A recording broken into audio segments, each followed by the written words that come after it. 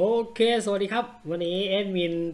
มาอีกรอบหนึงครับสำหรับวันนี้นะครับ ตอนเย็นนี้นะครับสี่ทุ่มนะครับ เราจะมาเฝ้าดูคู่ของกาตากับอิหร่านนะว่าใครจะเข้าไปชิงกับจอแดนนะครับเอ็ดมินจะพามาฟังคำสัมภาษณ์ของนักเตะบ้างหลังจากหลังเกมที่เกาหลีใต้แพ้ไป2ต่อ0นะครับ คำมั่นสัญญาของเด็กชายซอนฮองมินนะครับสัมภาษณ์หลังเกมเกาหลีใต้0ต่อ2จอร์แดนเอเชียนคัพ2023 นะครับเรารองชนะเลิศ4ที่สุดท้ายนะครับ วัน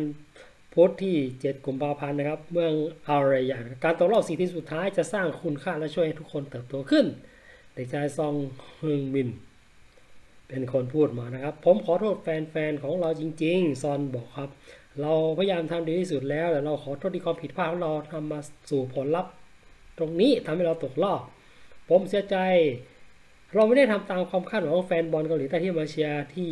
สนามและที่บ้านนะครับ ผมจะพยายามพัฒนาในฐานะนักเตะและจะพยายามพาทีมชาติเราไปสู่ระดับที่ดีขึ้นกว่านี้ให้ได้แน่นอน ผมให้สัญญา ผมอยากจะขอขอบคุณเพื่อนร่วมทีมทุกคนที่ทำงานอย่างหนักเพื่อทีมและเสียสละตัวเองอย่างมากสำหรับทัวร์นาเมนต์นี้ ใช่แม้ว่าเราจะไม่ได้ผลลัพธ์ตามที่เราต้องการ แต่ผมก็ยังรู้สึกขอบคุณสำหรับสิ่งนั้นสำหรับการทำงานหนัก กับเพื่อนๆร่วมทีมทุกคนแล้วก็สตาฟโค้ชและผมหวังว่าประสบการณ์นี้จะช่วยคนเติบโตขึ้นนะครับซน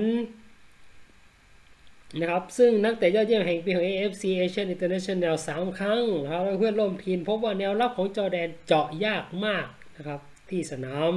อาเมดบินอารีนาโดยที่ที่เกาหลีใต้ไม่ได้ บันทึกแม้แต่ประตูเดียวคือไม่สามารถยิงได้ประตูเลยแมตช์นี้ถือเป็นสาหัสสาการมาก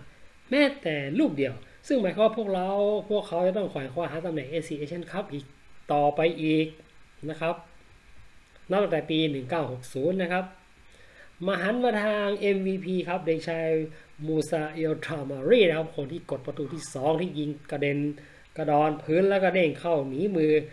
ประตูเกาหลีใต้ไปครับ ซึ่งวันที่แล้วตัวเขาเองยังใฝ่ฝันที่จะคว้าแชมป์เอเชียนคัพกาตาร์2023 อยู่เลยนะครับ แต่ตอนนี้แต่ตำแหน่งของเขาในรอบชิงชนะเลิศหลังจากชัยชนะเหนือเกาหลีใต้ 2 ต่อ 0 มาในรอบ4ทีสุดท้ายแบบเร้าใจเมื่อคืนวันอังคาร MVP ผู้เล่นยอดเยี่ยมแห่งแมตช์ยังเหลืออีกหนึ่งเกมที่ยังจะทำให้ความฝันของเขาเป็นจริง คือต้องถามกาตาหรือว่าอิหร่านเท่านั้นว่าจะให้เขาฝันเป็นจริงหรือไม่นะครับกองหน้ารายนี้ไม่มีใครหยุดยั้งเขาได้เลยที่สนามมามัดบินลาดี โดยสร้างประตูแรกให้กับยาซานอันในมัดนะครับ อันที่สองเป็นตอนที่ตัวตอนก่อนที่ตัวเองจะเลี้ยงจี้เข้าหาแล้วสับขาหลอกทำให้ผู้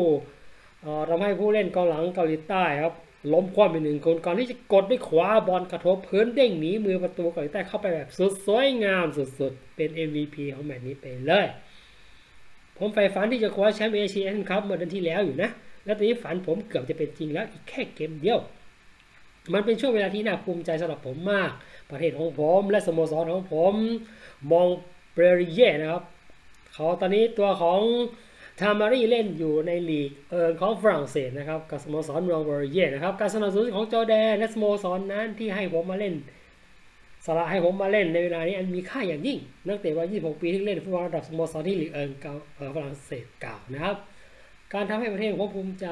เพราะผมเป็นนักเตะคนหนึ่งที่ค้าแข่งในลีกฝรั่งเศสถือเป็นเกียรติอย่างยิ่ง และผมหวังว่าเราจะคว้าชัยชนะในรอบรอบสุดท้ายได้ ผมขอขอบคุณแฟนๆรอสำหรับการเข้ามาเชียร์เต็มอัศจรรย์และสนับสนุนอย่างไม่เปลี่ยนแปลงเราดำเนินการตามแผนของเราอย่างมีประสิทธิภาพแล้วผมต้องยกเครดิตให้กับโค้ชนะครับฮุซานมูตานะครับ ที่เน้นย้ำถึงความสำคัญความสุขสนานปลูกฝังความคิดแห่งชัยชนะให้กับเรา และให้เราอุทิศชัยชนะให้กับแฟนๆเราทุกคน นะครับชัยชนะครั้งนี้ไม่ได้เป็นมาจากแค่ความพยายามของแต่ละคน แต่มันหมายถึงความร่วมมือของร่วมใจกันในทีมนะครับ ผมคนเดียวคงทำสิ่งนี้ไม่ได้ถ้ามีเพื่อนร่วมทีม โดยเฉพาะกองกลางที่จ่ายบอลสำคัญให้กับผม ผมมุ่งมั่นที่จะวิ่งไปสู่เป้าหมายอยู่เสมอนะครับจอร์แดนนะครับปฏิเสธเกาหลีใต้โดยการที่ป้องกันไม่ให้ยิงแม้แต่ลูกเดียวในนัดนี้ ถือเป็นความสำเร็จของอัลทามารีที่เขาคอยกดดันแผงกองกลางและกองหลัง back four ของเกาหลีใต้ ซึ่งเกิดจากแทคติกการแนะนำของ ฮัมมูตานั่นเองนะครับแทคติกด้านวินัยเกมรับที่หัวหน้าโค้ชเขาปลูกฝังเป็นสิ่งสำคัญ เขาปลูกฝังความมั่นใจให้กับพวกเรา ที่จะไม่ต้องกลัวคู่แข่งของเรามากเกินไป ทุกคนเท่ากันเราเท่ากันนะครับในขณะเดียวกันก็ห้ามให้พวกเรามีพื้นที่ให้เขาเล่นโจมตีได้ง่าย พยายามแย่งบอลมาให้เลี้ยวแล้วก็เลี้ยงเจี้ยให้พวกเขาอลหม่านจากแผง back fourนะครับ